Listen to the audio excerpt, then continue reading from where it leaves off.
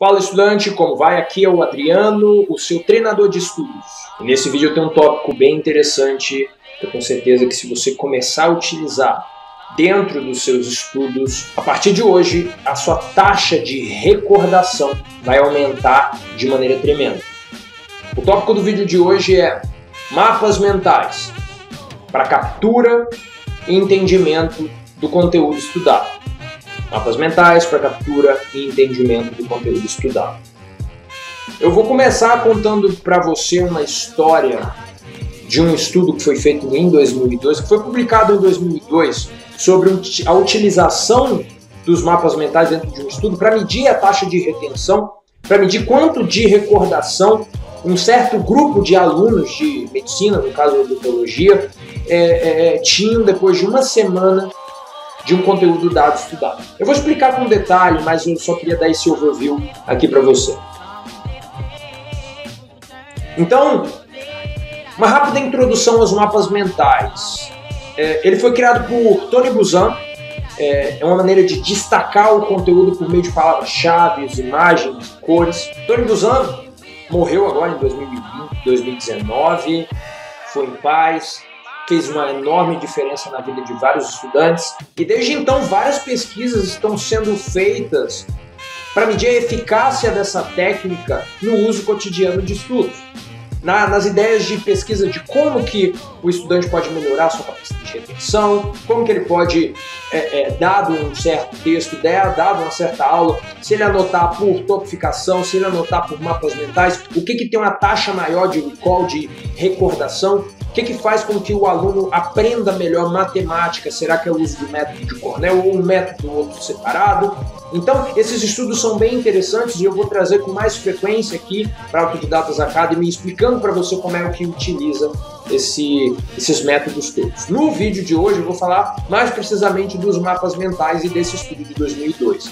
Eu vou colocar também aqui na descrição a referência desse, desse estudo que eu li, para que você leia também. E se eu falar alguma merda aqui, se eu falar alguma coisa errada, você pode me corrigir e, e talvez eu grave outro vídeo comentando. Então, em 2002, foi publicado em um periódico um artigo compartilhado compartilhando os achados feitos de, por um estudo sobre o uso dos mapas mentais para estudantes de odontologia. O objetivo desse estudo, como você pode ver por essa imagem que eu vou colocar aqui na tela, Uh, vamos aqui, deixa eu pegar a imagem aqui para me ler para você. Tá em inglês, mas é fácil de, de, de traduzir. Oh, the objectives the, to, to examine the effectiveness of using the mind map study technique to improve factual recall from written information.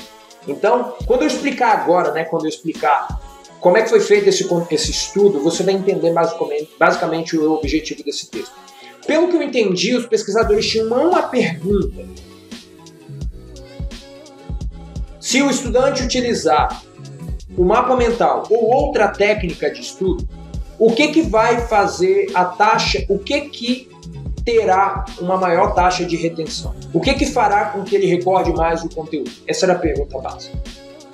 Então eles pegaram 100 alunos de odontologia, separaram em dois grupos, ok?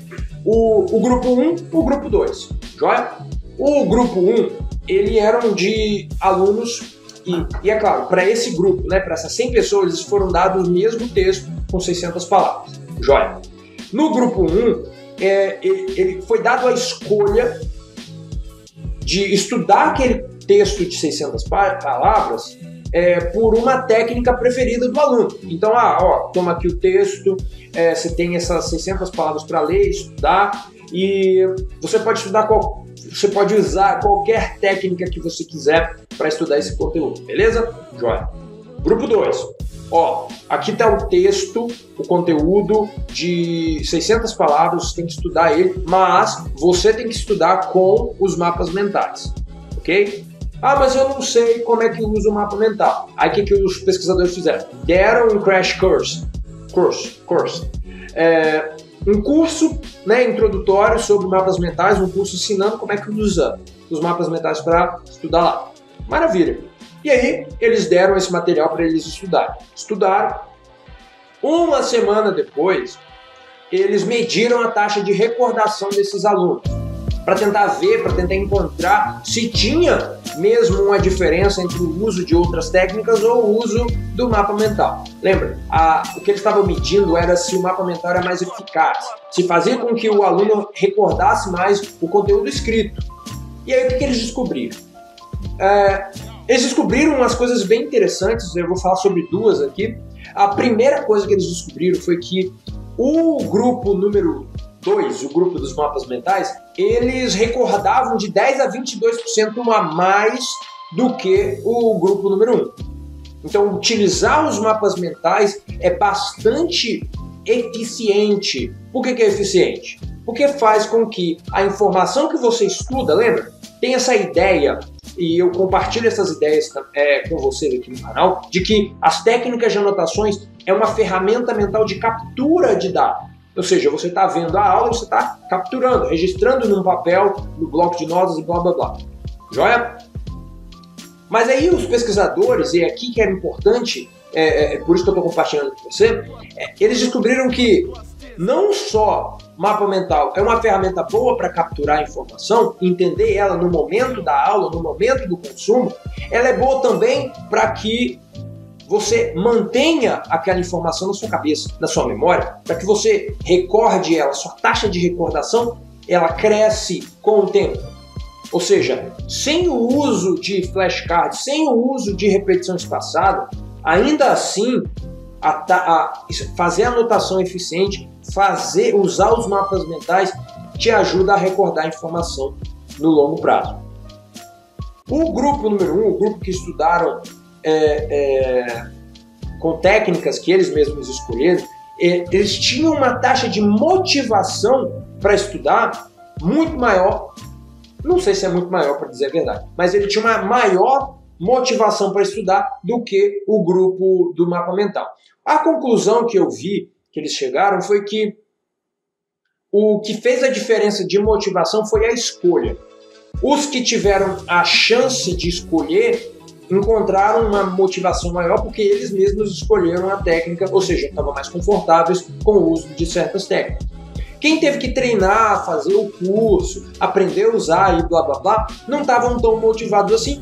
Ainda, ainda assim, eles tinham uma taxa de retenção maior, de recordação maior da informação estudada. O que que, por que, que isso é interessante? Porque, outro motivo do porquê, se você resolve um problema da motivação, o que, que, eu quero dizer com isso? Por exemplo, a gente tem um, um sistemas de recompensa lá na criação de hábitos. Se você vai fazer anotação usando o mapa mental, ok? E aí você vai fazer o seguinte, ó, eu vou estudar por duas horas, fazer anotação por mapa mental, e depois dessas duas horas eu vou, sei lá, vou jogar por 30 minutos, ou vou assistir algum entretenimento, ou eu vou sair, no, eu vou pro shopping, ou eu vou, sei lá, Tá entendendo? Se você tem na sua cabeça assim, ó, é, eu não quero muito fazer isso aqui, não, mas eu vou aumentar minha motivação me dando algo que eu quero receber, mas não posso porque eu estou ocupado estudando.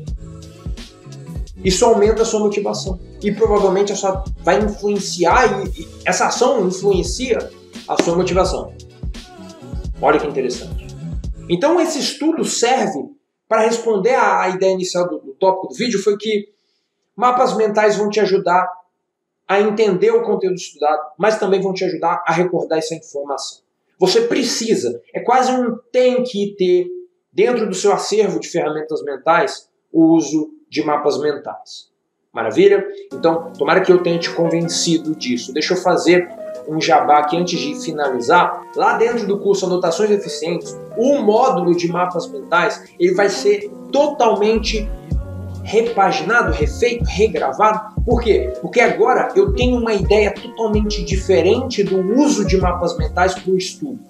Então, você que é aluno, você que está pensando em virar aluno, saiba que o módulo de mapas mentais ele vai ter um acréscimo de novas aulas e algumas atualizações nas próximas semanas. Tudo isso será avisado dentro lá do grupo dos alunos, ok? Então, estudante, se você ainda não é meu aluno lá dentro do Anotações Eficientes, entra lá, dá uma olhada, vê se é para você. Eu tenho vários módulos lá falando sobre técnicas de anotações, formas que você pode utilizar para capturar a informação estudada, fazendo com que, como eu expliquei nesse vídeo aqui, Não somente a, o entendimento inicial, eu estou consumindo a informação, estou escrevendo, estou anotando.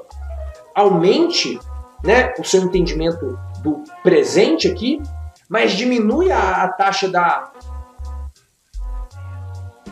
Como é que é o nome daquilo? Ilusão da competência, que é aquela ideia de que só porque eu entendo algo agora, eu vou entender esse mesmo algo no futuro. E aumenta a sua recordação, porque porque por algum motivo, quando você se esforça para seguir as regras do algoritmo do mapa mental, você faz com que a informação que você estudou seja codificada na sua cabeça com uma clareza maior, com, com um critério de concretude. É como se a informação fosse fixada na sua memória muito mais facilmente utilizando o mapa mental do que algumas outras técnicas, ok? É, me fala o que, que você achou aí nos comentários. Eu vou gostar demais de, de conversar com você aí e ver o que, que você acha sobre isso. Se você quiser, você pode acessar aqui o material complementar aqui na descrição, onde eu vou colocar o link lá do blog post, onde eu falo mais sobre isso aqui, expando mais o assunto. Coloquei os links do, do, das referências também lá no blog post, ok? É, e por esse vídeo é isso. Eu quero que você, estudante, continue estudando, ha, continue aprendendo, desenvolvendo a sua inteligência utilizando ferramentas mentais. Por esse vídeo é isso. Tchau!